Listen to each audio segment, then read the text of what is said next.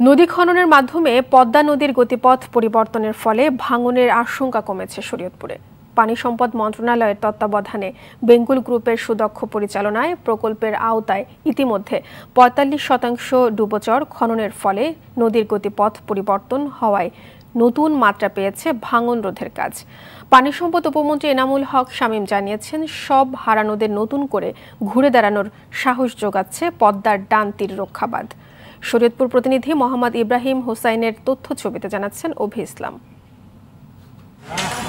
দু হাজার ষোলো থেকে দু হাজার আঠারো সাল পর্যন্ত স্মরণকালের সব রেকর্ড ভেঙেছে শরীয়তপুরের নড়িয়া জাজিরায় নদী ভাঙন। শুধু দু হাজার আঠারো সালেই পদ্মার ভাঙনের কবলে পড়েছে বিশ হাজারেরও অধিক পরিবার। বিলীন হয়েছে বহুতল ভবন, বাড়িঘর, হাটবাজার, ফসলি জমি, রাস্তাঘাট, স্কুল, কলেজ আর মসজিদ, মন্দির। নদীর ভাঙন রোধে দু হাজার আঠারো সালে এক হাজার সাতানব্বই কোটি টাকা ব্যয়ে শুরু হয় পদ্মার ডান্তির রক্ষা বাঁধের কাজ। দু সালের জুন মাসের মধ্যেই কাজ শেষ করার লক্ষ্য নিয়ে ইতিমধ্যে বাঁধের বেয়াল্লিশ শতাংশ ও চর অপসারণের পঁয়তাল্লিশ শতাংশ কাজ শেষ করেছে বেঙ্গল গ্রুপ। তবে অধিক ঝুঁকিপূর্ণ পঁয়তাল্লিশ শতাংশ ডুবোচর অপসারণের ফলে বাদ পেয়েছে নতুন মাত্রা। আমাদের নির্ধারিত ড্রেজিং এর কাজটা গত বিশে জুন দু হাজার বিশ সালে আমরা সম্পূর্ণ করতে সক্ষম হয়েছি।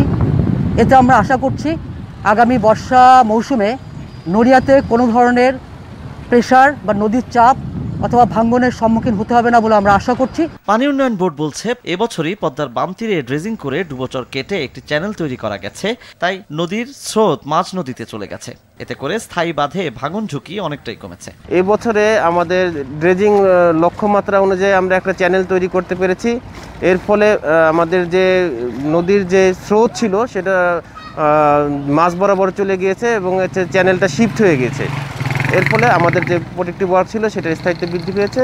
আশা করা যায় যে এবছর আমাদের যেহেতু চ্যানেল দূরে সরে গেছে সেহেতু আমাদের এবছরে ভাঙন সম্ভাবনা নেই এবং এখন পর্যন্ত কোনো ভাঙনের খবর আমরা পাই নাই। এদিকে সারা দেশে চলমান মহামারীর মধ্যেও স্বাস্থ্যবিধি মেনে প্রধানমন্ত্রী শেখ হাসিনার নির্দেশ মোতাবেক নড়িয়া জাজিরাবাসীকে নদী ভাঙনের হাত থেকে রক্ষায় কাজ অব্যাহত রাখার ঘোষণা দিয়েছেন পানি সম্পদ উপমন্ত্রী এনামুল হক শামীম। স্বাস্থ্যবিধি মেনে মাননীয় প্রধানমন্ত্রী জননেত্রী শেখ হাসিনার নির্দেশ মোতাবেক পানি সম্পদ মন্ত্রণালয় এবং পানি উন্নয়ন বোর্ড, এই নড়িয়ার ডান্তের রক্ষা বাদ প্রকল্পের কার্যক্রম আমরা এপ্রিলের উনিশ তারিখ থেকে চালু করেছি এবং পুরোধমে হাজার হাজার শ্রমিক এখানে কাজ করছে।